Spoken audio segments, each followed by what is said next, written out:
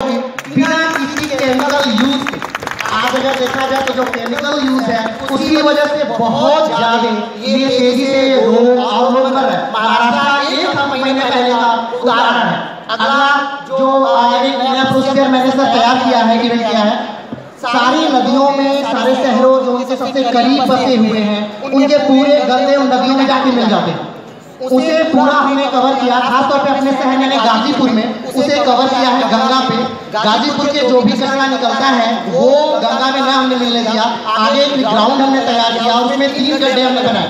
सबसे पहले कचरा एक में आता है, फिर दूसरे में आता है, फिर तीसरे में आता है। तीसरे में एक कवक आता है, जिसे मेगा कवक कहते हैं। उसे डालने से वो पूरे गंदगी धीरे धीरे साफ़ हो जाती है, और उस पानी से सिंचाई का हम काम कर सकते हैं। आप उसे हमारे खुद के शहर जाके देख सकते हैं, जिसे हम लोगों ने खुद इवेंट किया है। वो मिट्टी पे हमने काम किया है। यानी कि वो आज अलग अलग चीज़ों का प्रयोग करके मिट्टी को हम खराब कर रहे हैं सर।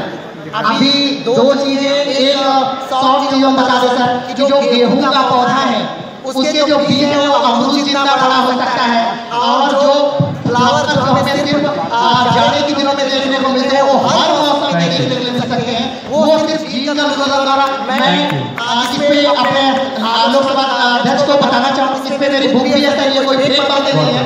द-। इसके एक साल के पास पहुँचा